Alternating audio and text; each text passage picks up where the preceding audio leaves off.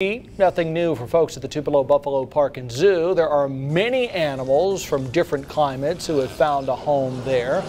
Well, many of them can handle the intense heat, You've got that then try to keep the animals and the zookeepers comfortable. It is very hard sometimes to keep them cool because the temperatures do rise up. We do keep uh, fans on a lot of our indoor animals that actually can't get out. We do have air conditioned areas, um, but we do try to do as best we can. Robertson says everything a zookeeper does to care for the animals during heat waves is vital, even if the animal is used to the high temperatures. The Golden Triangle Homeless Co